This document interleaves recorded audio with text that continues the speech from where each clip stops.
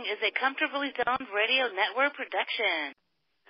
I am back, and you are comfortably zoned with me, the Zigzag Man, in Alameda, California, right across the bay from San Francisco, and across the moat from Oakland, in the northern part of the great state of California.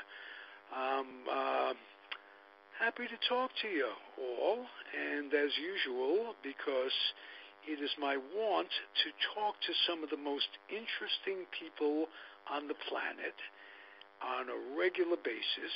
Um, I have a guest, and he is that. He's a returning guest, and he is among the most interesting of the interesting. He is Jack O'Halloran. How are you, Jack? I'm very well, thank you. Very well indeed. Yeah, I uh, we didn't connect a few times, and it's been a while since you've been here. I want a little bit of an update on uh, what you're doing. You're putting together a film of your book. Am, am I? Yeah, we're pretty close now. It's, it's coming together very well. Okay, is it a documentary or a movie? Oh no, it's a movie. Okay, and uh, so I'll be starring as Ma- Meyer Lansky. Am I correct? Good idea. You shave your beard and you'll be fine. um, if, if that's a Hey, casting got- call, if that's a casting call, I can play. I could probably play Meyer Lansky's mother. yeah. Maya, Maya, what the, Maya, you go to, can't you play baseball with the kids? what, what's going on? Are you going to be a doctor, Maya? Um, how's that? That's not bad there, sonny boy. right. so, uh, did you ever know Meyer Lansky's mother? Just out of curiosity, probably. uh, nobody. I mean, they, her, his parents died over in Europe. Oh, really? Okay. I make uh, joke of, of that. Uh, I'm sure they were Holocaust survivors or non-survivors. Am I correct? Yeah, he actually was um, raised in. He's from actually from Poland, which was part of Russia at the time. But he um, had a very eclectic background. It was amazing. They they they came to America when he was about. I guess he was around 13 years old. Oh, oh wow, wow. Um, one of your, uh, you told a great story last time you were on about Meyer Lansky. I won't ask you to repeat it, but uh, quite a character was he. Tell me about the movie and um, what stage of production. The movie's really doing well. We're we're in the process now of finishing the financial raise, and uh, it looks exceedingly promising that uh, it's going to come down the way I uh, I wanted I want to do it, and uh, you know, it's uh, because it, we don't want to lose control of the film. We want to make sure that we you know that goes on the screen what we want on the screen, Mhm. and uh, it appears that all that's going to happen. I'm not giving control to a studio. In other words, I'm not just signing it over to a studio and letting them make what they want. We're going to do the film on independent financing, and then we'll uh, do the distribution deal ourselves, and, uh, Oh wow, and it'll work That's very well. that's a big undertaking. I'm sure you have um, people who are you're partnered with because you're pretty much on the creative end. Am I correct? Well, actually, both sides. I, I had a great teacher in a, in a man called Elliott Kastner, who was probably one of the most prolific producers years ago. And he, I did my first picture, Farewell My Lovely, with him, and and my second, March or Die. And he did more pictures with Brando than anybody.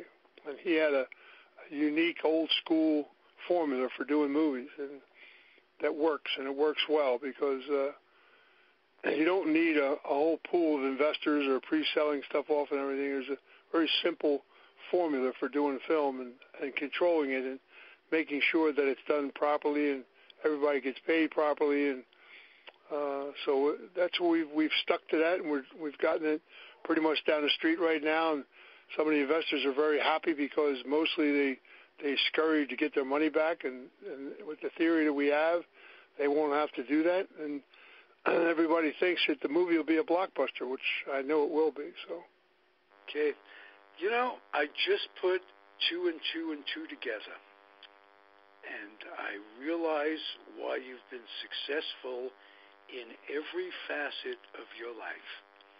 Here's what it is. And you, we've talked enough that I've gotten little bits and pieces of how how you've done as a football player, as a boxer, as a, an actor, now as a producer. You take mentoring well. You always attribute your success to what you learn from others, and you d- you don't try to reinvent the wheel. You got a good trainer who taught you how to box. You got a good eh, producer now. I'm thinking you got people to, that mentored you. Uh, you know, when I was younger, I learned from Meyer. Am I right? Am I right? You take you no, no, up inf- the money. information. Meyer Lansky taught me when I was a kid. You know, you learn more by listening than you do by talking. And uh, and I learned how to listen when I was young, and and I learned all through my life that if you listen to people who do things well, and you extract a formula from what they do, and you and you implant it in what you're going to do, then your uh, success rate is is quite good. You know. Wow.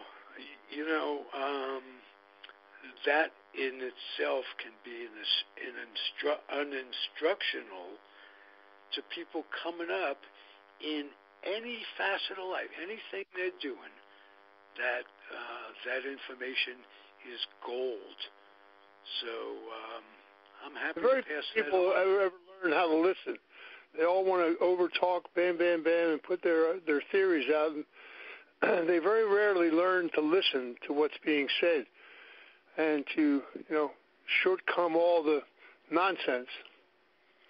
Right. It's uh, you know, it's it's just a it's a habit I got in when I was very young, and it, I'm glad that he uh, that it was put in my in my life that way. You know. Yeah. Oh, I wonder who it was that passed that on to you. Well, it was a combination of Lansky and Frank Costello. And and a guy named Rip Collins uh, had me when I was a kid. yeah, it, to me, I'm just, it's just, in a way, it's kind of amusing. I'm talking, who was it that passed out? Meyer Lansky, and what was Costello? I can't even think of Costello's name. Frank, Uh, Frank was a, Frank Costello was a was a bright Yeah. bright guy. yeah. Well, um, you, if I remember correctly, you credit your dad with being very bright. You credit Oh yeah, Meyer Lansky with being very bright. Um, you can't teach that. You can't coach that, can you? Just like Oh. speed, you can't you can't coach how fast the guy is going to run, how fast a guy is going to react, and Well, you take it. You look at a guy like Meyer Lansky. He was the accountant, and he was probably the smartest businessman I ever met. And he never wrote anything down. all in his head. Yeah. And and I and I and I used to ask him, you know, why? He said, listen, the formula to doing anything in business is simplicity. Just keep it simple. You have a product, you have a column here, a column there, and a column there, and the, and the end column has to add up. If it doesn't, somebody in the middle is taking something they shouldn't be taking. he, I mean, he, he could he could zero in on things so unbelievable. It was uh, you know, and he kept because it was all simplicity. He kept it simple. And, and here's a man who was a major shareholder in some of the biggest insurance companies in the country, some of the major corporations in the country. I mean, he invested a lot of money in a lot of clever ways, and uh, and, and the guy never did any time in jail, pal. You know, he tried, but uh, That's that's something Always- to think about. Um, wow. How did he pass? Did he he pass naturally or? Um, uh, he just he got ill, and he, he was old, and you know, he just passed away. oh, okay. It wasn't anything violent or Oh And there's a guy, there's a guy like five foot two, and he used to walk around, walking his dogs, you know, around Miami by himself. Nobody, I mean, he didn't need 20 bodyguards or he had a driver who was always not too far from him. But Meyer, um, Meyer, Meyer, Meyer had a look. He could look at you and make you wet your pants, man. You tell the story about it, his communique with the head of an insurance company in Philadelphia. That um, that's priceless. Uh, um, to say nothing about his, he had the idea of having you sit there as a reminder. Uh, what uh, six six six eight? Yeah, six six. He did that a few times. Yeah. Yeah.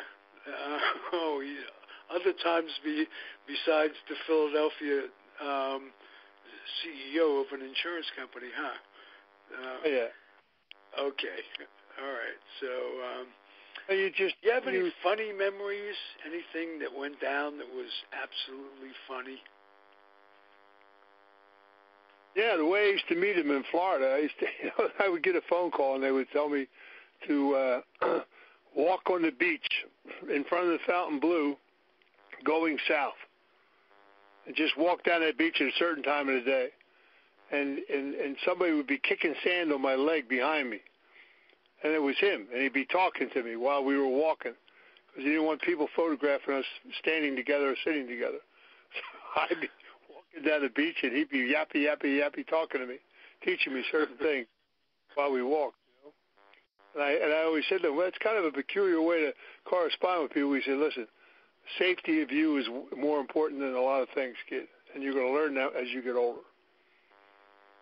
You know, he said that just you don't give don't give anybody an edge on yourself. Got you. Got you. You know, so you uh, wow. learn where to place yourself, and you know you don't hang out on corners and say I'm part of this gang or that gang, and you know get yourself affiliated to where so many stories can be told that are not true and are true, and you know uh, that's how people go to jail for 30, 40 years because of who said this and who said that, and, and swearing that you were standing in a place that you did this and that, and you know. So I was all over the place. I was in Boston, in New York, New Jersey, Philadelphia. You know, nobody nobody can ever manage to stand out. I'm sure. So that had to had to be um, a, factor that with what you did. In other words, you're easily recognizable. Yeah, it's amazing how a guy my size learned how to melt into the crowd. right, that's what I mean.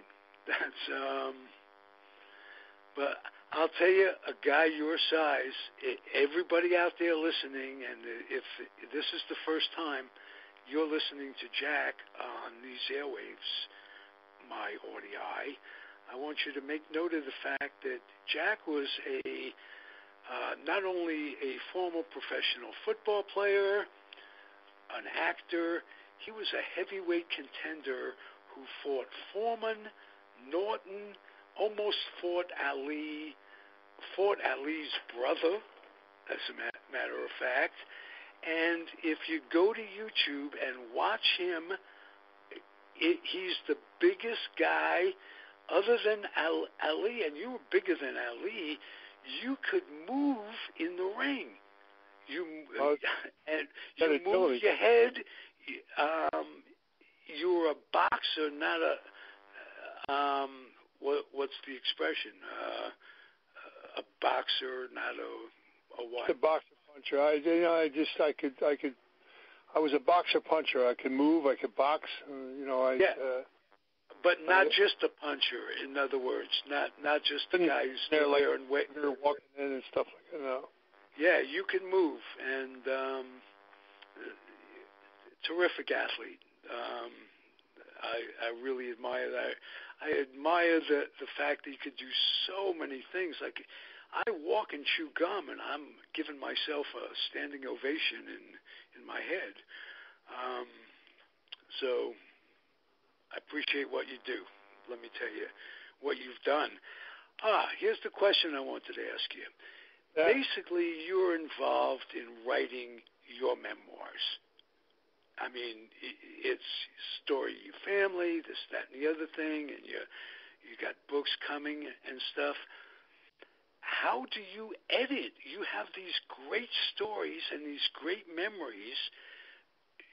How do how do you go about writing, determining what goes in in the works, what stays out?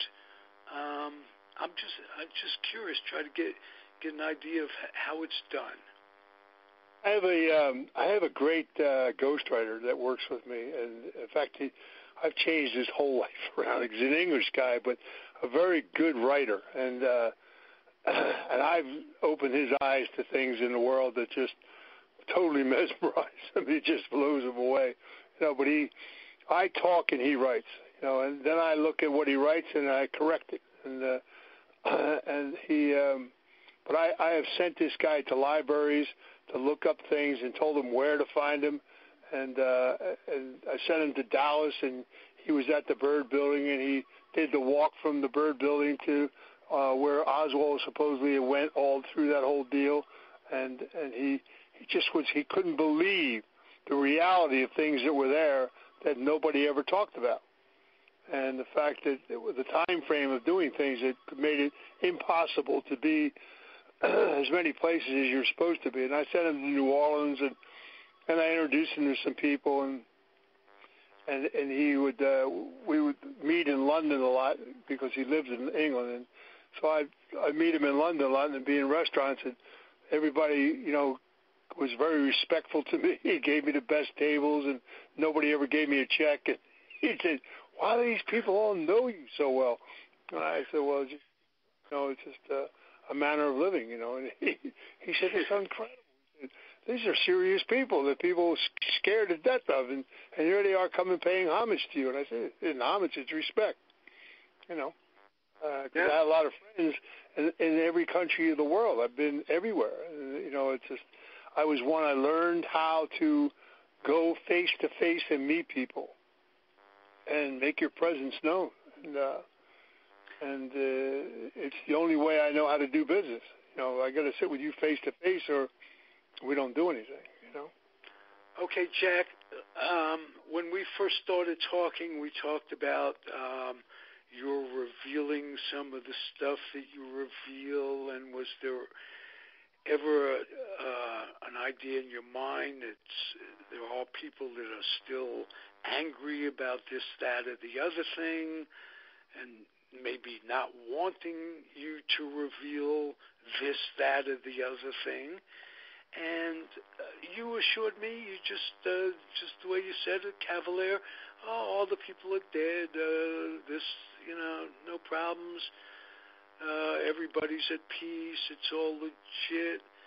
This week, um, I uh, sent you. Uh, forwarded you a link to a story that I read that um, had a Gambino um, uh, uh, crime person. I don't know how you say it. Uh, my grandmother is a hoodlum, but he got uh, bumped off in the Bronx.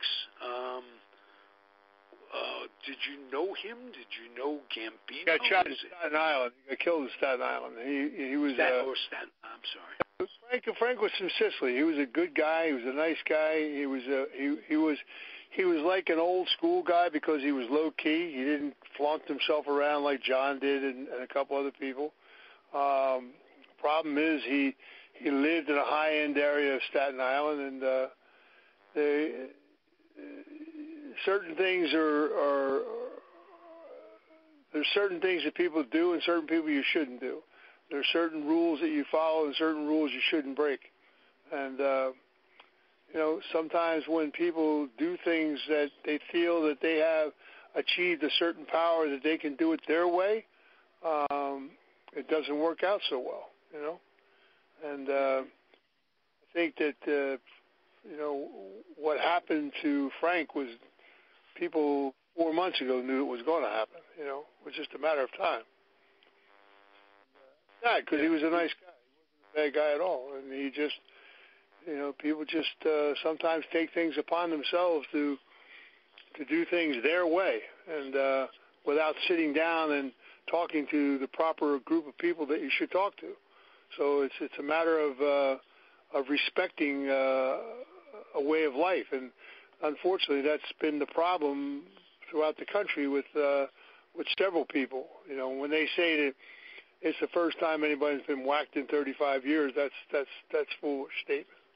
That's a very foolish statement, but um, because it's untrue. You just there's some people that were whacked that you just don't they don't publicize, and uh, this kid they publicized for a reason, and uh, you know it all comes out at the end of the day.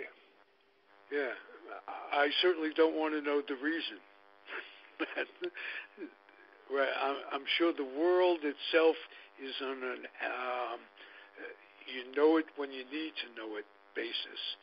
And um, I mean that's the way that's the way the world works, isn't it? You know, you just uh, uh you know, it's like I said. listen, when you when you get involved in a certain way of life, there are a set of rules, like anything else that you do in your life. You know, and if you don't want to abide by those rules, then don't play the game. Don't get involved. Mm-hmm. That's what my father was notorious for saying to people. You know, people used to say, "Well, why don't you give him a second chance?" And why don't? And Albert would say, "Why? If if you know the name of the game and you know the rules, why would you turn around blatantly break them and then come to me and ask me to forgive you and give you a second chance, which shows weakness upon my part on you because I'm not abiding by all the rules and I'm giving you exception to the rule, and you'll turn around and you'll be a rat on me in 10 years because you think I'm weak. So we don't play that game. And the, that's why people say, boy, he was uh, the Mad Hatter. You know, he whacked a lot of people and stuff. He just he they never. It was all amongst themselves. If you, like I said, if you join if you join a team and you know there's a set of rules in a game, then you play by the rules. If you if you break the rules, you know what the infraction cost you for breaking that particular rule. And if it yeah. means you're putting your life on the line, then so be it. If you think you're if you think that you're uh, bad enough or or or clever enough to outwit people that put these rules down and then mock them by breaking them in front of their face, then you deserve what you get. Mm. And I believe that today, you know. Yeah. Yeah, I sometimes I talk to you. I feel like I'm in a Mario Puzo movie, and we're just chatting on the phone, and the clicks you hear is not the is not the Chi Man. I I just get that in my head. Um, can you tie anything um, to Trump to make me uh, feel a little better that Trump is doing a lot of great for this country. You look at what he's done foreign policy wise, and he has put the fear of God back in people where it belongs to be. You know, too many years we've we've bowed down to different countries and stuff when we should never have done that. And Trump doesn't do that. He stands up for the country of America, and he will not tolerate anyone abusing it. And and, and that's all going to come to light. You know, all this stuff about who's a liar, this guy and that guy, and this guy went to jail, and you know that guy's whole career was bent around extorting things. It wasn't just when he got involved with Trump. It was way before that. His whole life was that way. And Cohen was a liar from the day one as well. So these guys manipulated, siphoned off money, did things. They were doing that all their lives. Now, the foolishness is that unfortunately Donald didn't have someone telling him how how how devious these people were because they had a great front story. That's how they advanced in their political careers. You know, they always how kept di- it behind how the back. devious was Donald Trump? I think it again? all starts at the top, don't you? You think you think that he knew about everything those guys were doing? Oh, I don't think he. Uh, my impression Not a clue. person like Donald Trump, who is a mega, a micromanaging uh, cuckoo from from the world. In other words, he knew everything that was going on in every part of his, his this campaign, the business, the foundations, the Trump Institute, the Trump Towers. He knows he knows what he sees himself and what he himself thinks he controls, okay? And people spin a yarn about doing this and being able to maneuver and do things, and he watched people maneuver and do things, and, and they seem to be doing it with the grace of, of everyone around them, where people enjoying and say, oh, yeah, this guy's a great guy. I've known him for years, blah, blah, blah, blah. And it didn't come out until Donald really started looking under the covers and saw this and that and said, whoa, you're not getting me involved in this junk. That ain't happening. And the exposures came. And they tried to they tried to fit him up with Russia, and they tried to fit him up with it. I mean, this guy Cohen had the audacity just lately to turn around and say Donald owes me a fortune for legal work that I did. You know, and that's the most ludicrous thing because he has receipts of paying this guy for everything he ever did legally. But this guy, these people siphon money from other areas other than the, uh, being around Trump. They use their power in a very innocuous way, and and, and there's people that do that all day long in, as CEOs of corporations and don't get caught until further down the street.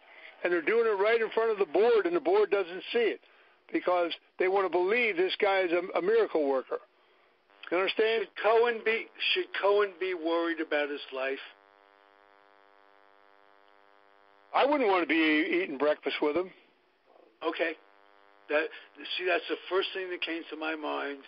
But I don't think that, I don't think that that would ever come from Donald. Donald's not that type of person. Oh that no, it wouldn't come someone come else. From, it wouldn't come from him. It would come from a wink and a nod. Well, there's a lot of people that this guy hurt, and it's all coming out.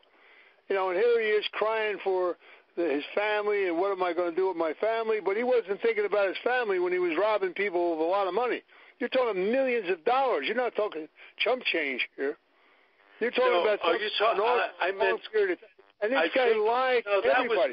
He, he even lied to the congressional committee when they when they cut him a deal, and he was going to. He said, "Well, I'll That- cooperate," and he lied when he I, cooperated. I think he. I I said Cohen, not Manafort.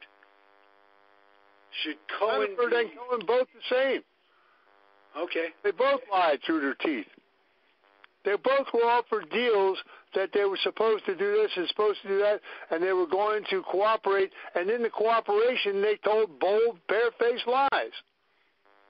And they invented stories that they thought that the people around them were going to collaborate because they always did, because they were all stealing money. But now they see that their own fingers are going to get burned. They backed away. And he got left standing in the rain by himself. Okay. How do you see the end game going in the Trump thing? Will he be reelected? Will he be indicted? Just nobody knows for sure, but I think that Donald will get reelected. Let me tell you that. If he runs again, I think he'll get reelected. I think it's it's going to surface in the next year the things that he's doing for this country that are positive. He's creating a lot of jobs. He's bringing industry back into the country. He's he's he's Well- put our he's put our, our our strength in foreign nations back in place, and he's doing it with he's standing right up in front of them. And and, and they're not, I am not doing this. You are not abusing my country anymore. You're not. He just he he you know the guy in Korea was bullying everybody for a long time. You're not bullying Donald So Trump. if I use the expression Putin's bitch on you for him, not you you being Putin's bitch, I wouldn't think you were an- anyone's bitch, young man. But um, if I, I use the expression Donald Trump is a Putin's bitch, That's would not true. you That is so far from that? true. It's ridiculous. Pardon me? That is so far from true. It's ridiculous. That's not true at all. Now you got to go back. You know, get you're a smart guy. Where did like Putin come from? Where did Putin come from? What did he do before he was the head of Russia? Where did he He come was the from? head, head of their spy. He was uh, their secret service or whatever. Where did he come from before that? Um, He's a gangster. Modern, He's been a, a gangster tailor all his life. He was a a, gangster. tailor. His father was a tailor.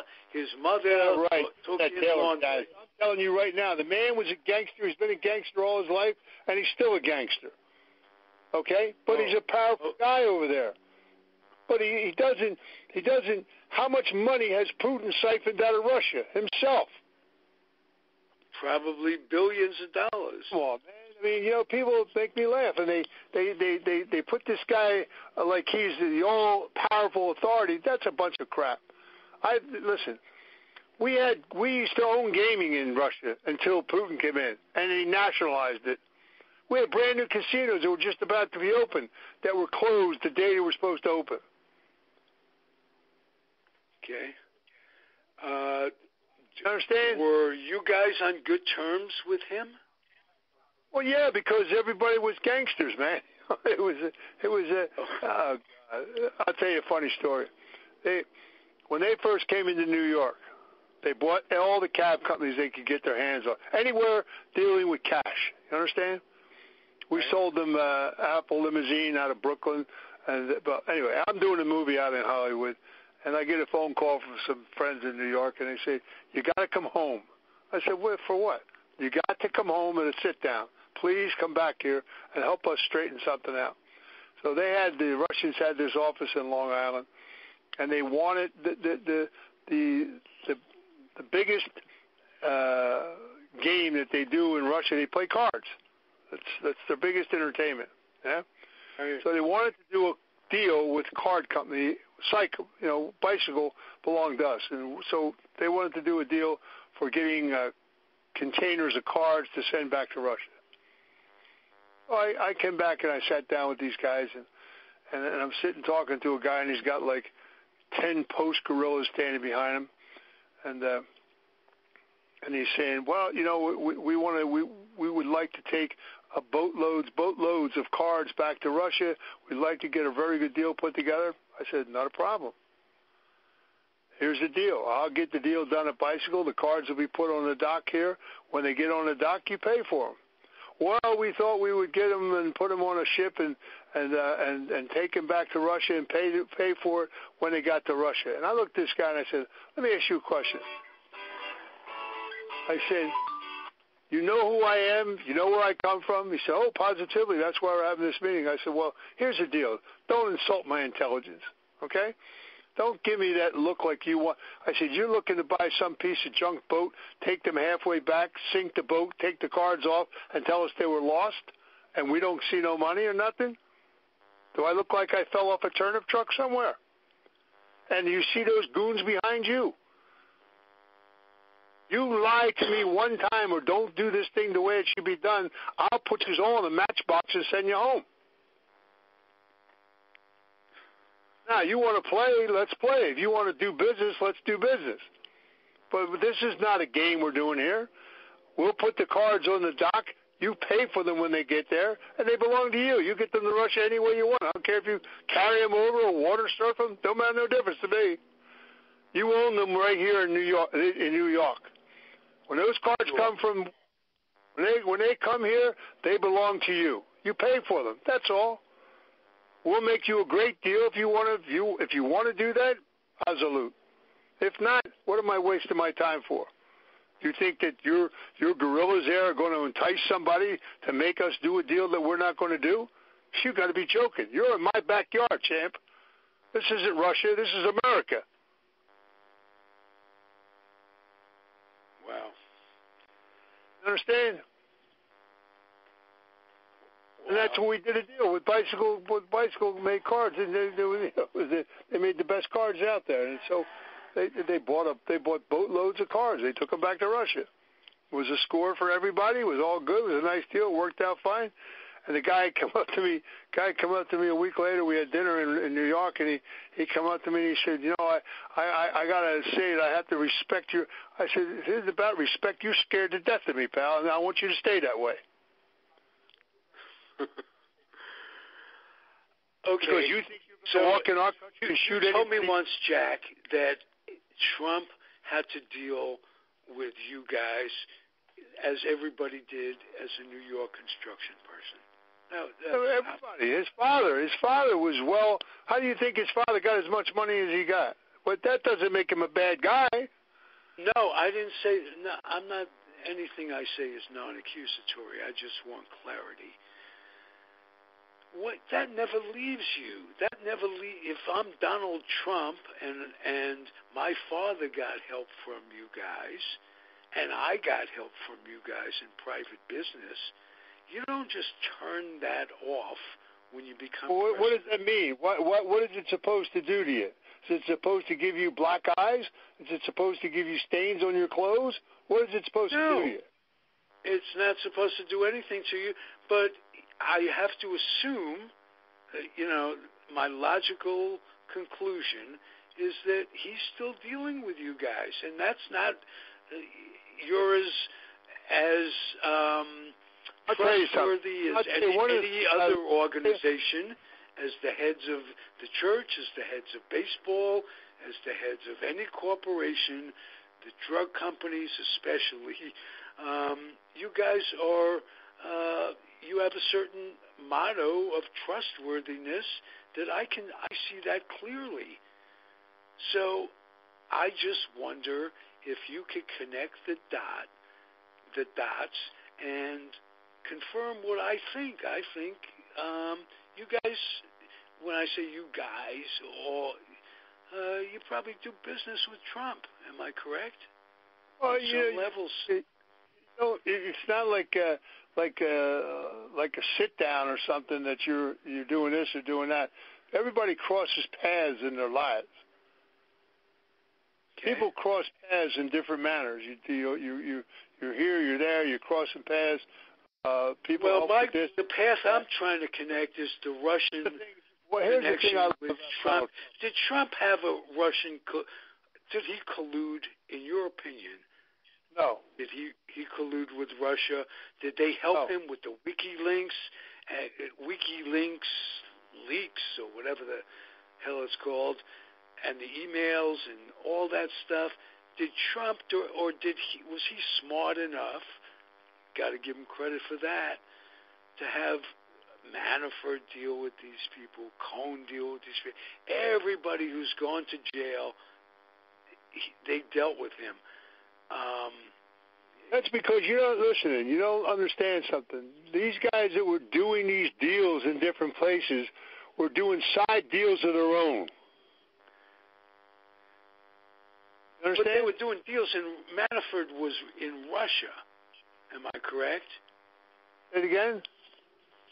Manafort was in Russia, doing business in Russia. Yeah, he was doing deals on his own. He had his own little scams going over there. Yeah. Okay, but nevertheless, at the time, he was the campaign director uh, of Trump's fund. Uh, Stop him from doing that. Didn't stop him from doing his ancillary deals that he did everywhere in his life. That didn't stop him from that. He only used the popularity of being his campaign manager to allow him to do more things than he could do before because of popularity. Because oh my God, this guy must be really sincere and legit, and all this other jazz. You know. Okay, but do you expect? Do you think, or do you believe that Trump had no knowledge of it, uh, given that he was his campaign manager? And that they talked on a pretty regular basis. He was trying to put in a Trump Tower with, with Ivanka and all, all that stuff. He probably had a pretty close feelings with with the Russians. Would you say he he personally knew about what was going on, or would you say that could have been a wink and a nod thing?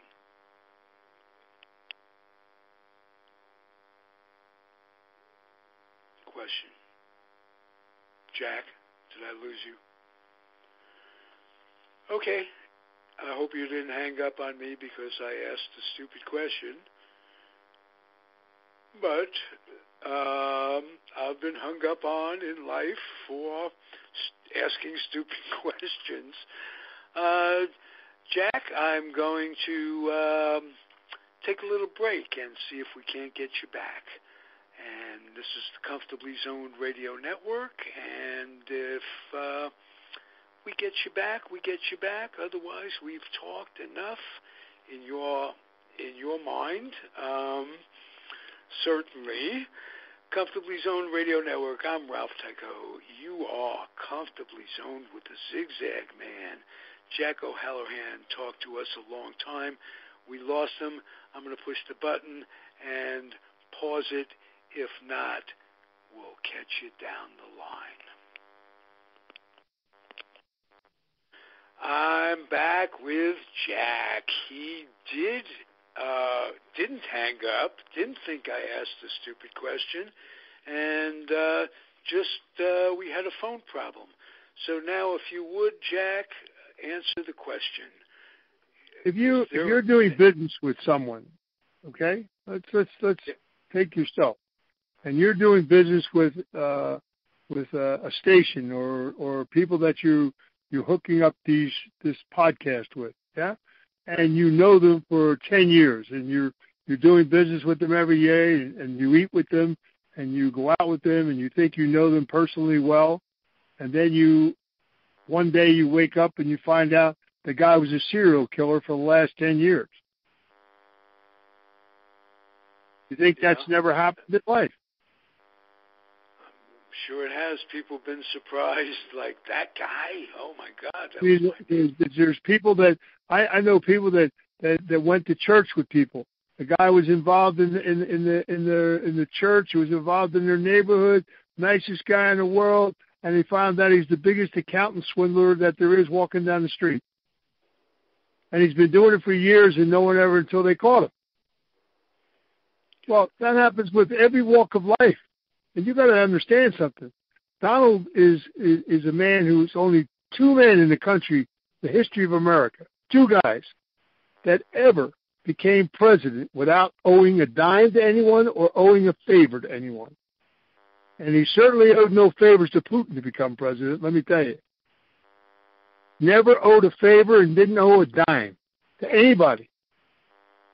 And you got to give him stand up across, and then he stands up and he and he defends the country everywhere across the board. And maybe he's a little bit too liberal with his tweeter. Yep, I agree with that. But that's just his personality. But you can't do. You, are you going to turn around and tell me that that that Jack Jack Kennedy was working with Khrushchev, didn't do deals in Russia? But it wasn't Jack Kennedy who did the deals. It was his father. So there's always a lion somewhere in the background. Jack so Kennedy. Was that, was that standoff uh, destined to turn out for the good, and they knew it? What standoff? The standoff where he and Bobby were going to turn back um, some boats in Cuba you know. Do you know how much money Joe Kennedy put into Cuba? You have no idea, do you? Do you know how much of a big supporter he was of Fidel Castro's? You know how much? Let me say something to you. In the Bay of Pigs, and I had friends of mine died there that day. And he told his son that those soldiers didn't need any bullets in their guns. He didn't want any excuse, any anything to go off and, and cause a, a ruckus because somebody fired a gun out of out of misplacement, and they all got slaughtered. Did you hear what I just said? Eisenhower, they blame that on miscommunication with Eisenhower. Can you Wrong. That? Wrong. They blamed it on whoever they could blame it on, but they never came up with factual proof to prove it, did they? Uh, nothing that didn't make ah. the biggest blot on his his political life.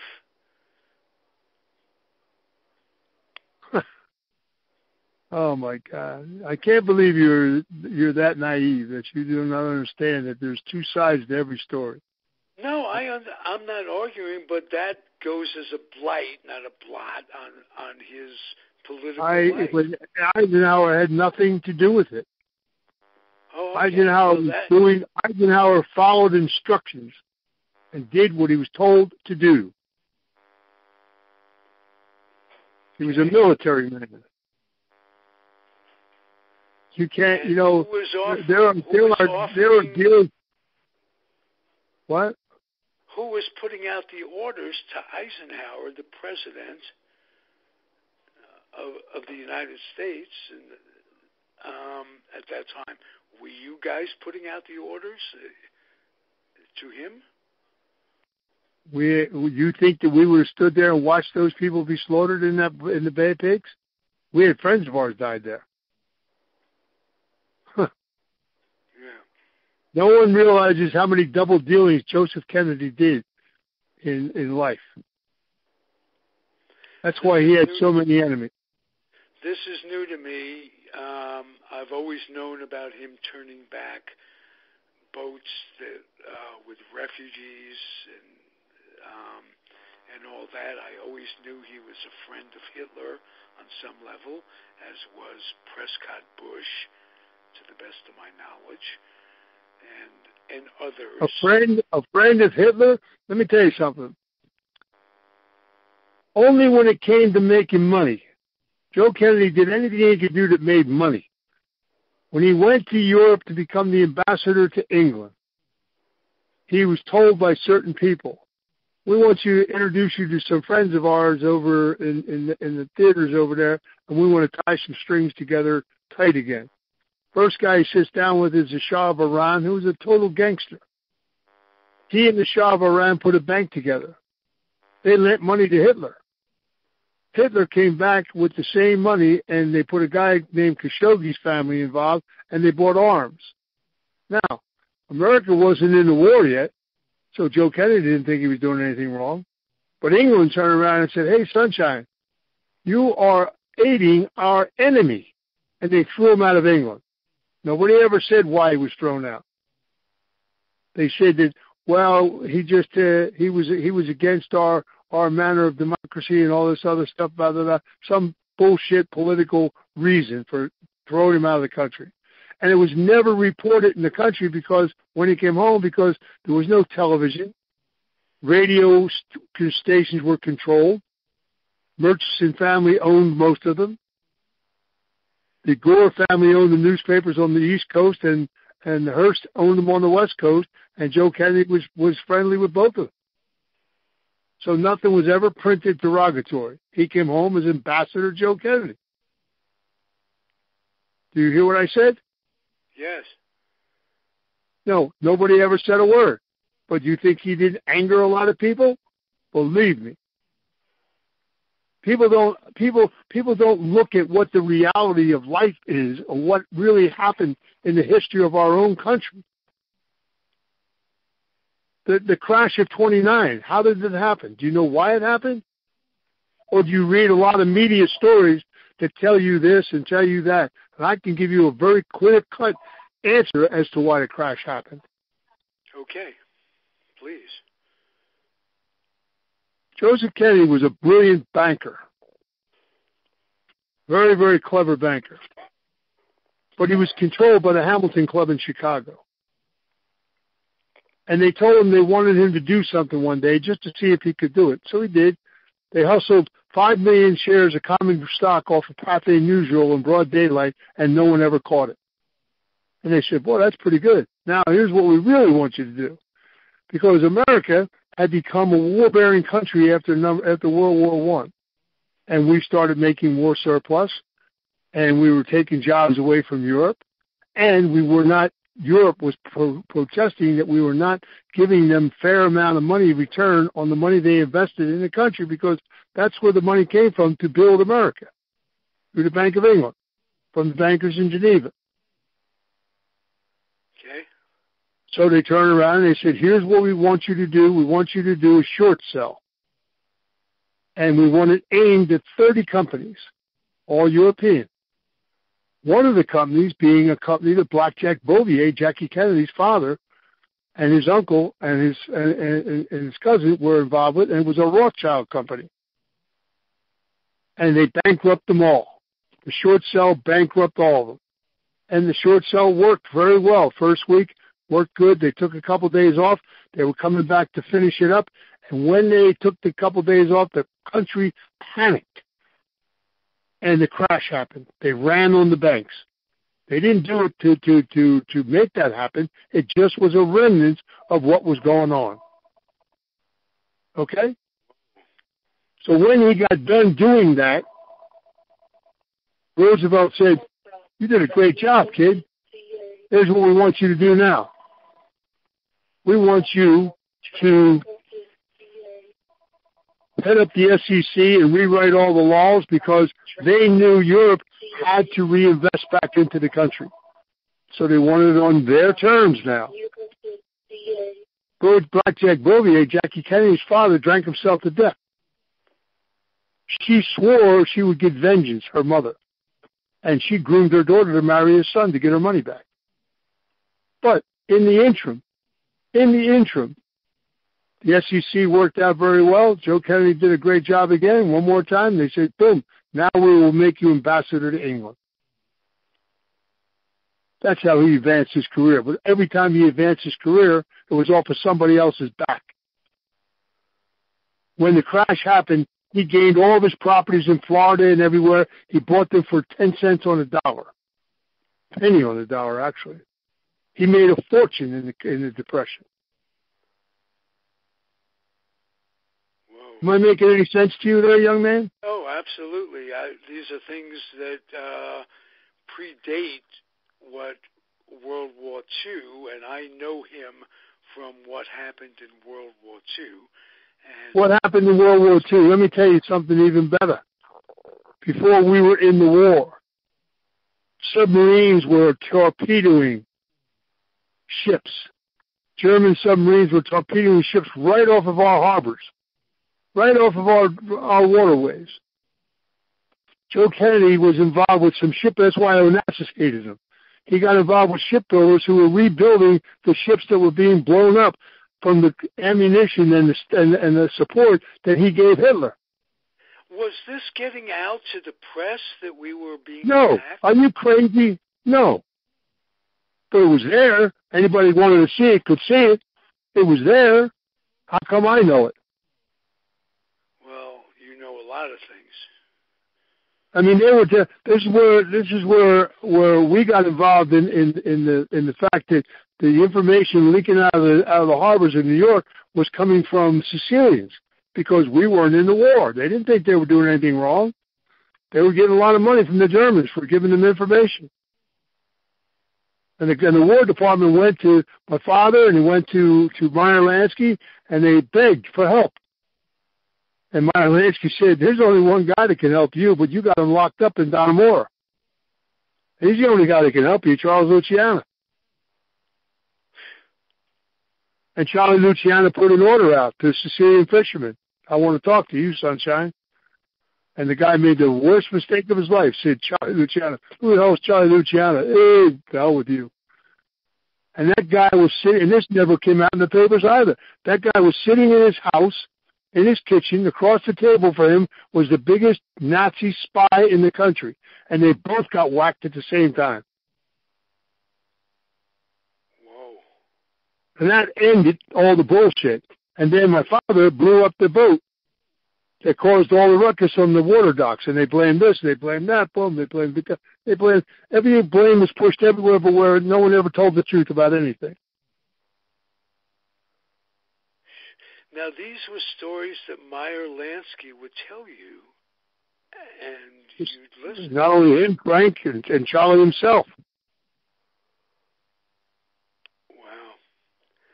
Hey, uh, we have It's the same. It's no different than it's no different than you know. People say to me, "How did Albert ever meet your mother?" My father, and this, how many people even know this? Albert was a sergeant in the army in Indian Gap, Pennsylvania, teaching soldiers how to be longshoremen when they were looking for him everywhere. After Lefty got cut, they, they were, Albert was there, now the only head of Murder Incorporated. They were looking everywhere for him. and he was Eleven guys guy. were indicted. What? He was right under their their noses. He was in he was in the army, and it, it wasn't even a citizen. they didn't make him a citizen until he came out of the army. That, but he was in the army. And, and I'll tell you even something better than that. There was a guy, a New York writer from one of the newspapers, called up. he got or the police in New York got a phone call from a captain at the army base where Albert was, and the guy said to the the police, he said, "Hey, this this Albert Anastasia guy you guys are looking for." And they said, "Who?" Albert Anastasia. I'm looking in the newspapers. He's front page of all your New York papers and all, and you're looking for him everywhere. I got him right here in my army. I said, "What are you talking about?" He said, "This Albert Anastasia guy. He's right here in my army." He said, "Hold on a second. The guy came back on the line. and said, "Oh, that's bull. We're not looking for Albert Anastasia. That's all newspaper junk."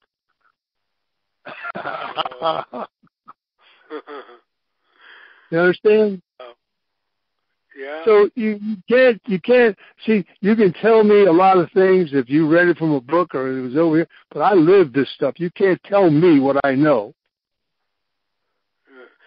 I think there's a big coincidence with you being his son that reason you've lived a blessed life. Well, it didn't hurt. Didn't hurt. it didn't hurt, that's for sure. You know. All right. Hey, but these people are smart You're, people. Um, smart people is what it's about, and um, like I say, you've made reference to the fact that your dad was smart, that Meyer Lansky was smart, and I know about you being smart. So um, you're a great guest. I love having you. I love chat. Love chatting with you. And you had yeah, me talking to you. when you were talk. I'll tell you what. You were talking about your dealings with bicycle cards and the Russians. I mean, I'm sitting here. You're um, uh, you're very convincing. Let me tell you something. Um, you're in my backyard, sweetheart. uh, thank you, sir. Keep coming back and stay healthy. Have a good day, my boy. All right. Jack O'Halloran, son of Albert Anastasia, and a Renaissance man in his own right. I'm Ralph Zigtyco, Comfortably Zoned Radio. And I just want to implore you all, um, I rarely get to do this anymore. Keep your dreams wet keep your humor dry, and keep your kids off the laps of clerics wearing dresses, and everything will work out better. Adios, everybody. The proceeding was a comfortably zoned radio network production. Thank you for listening.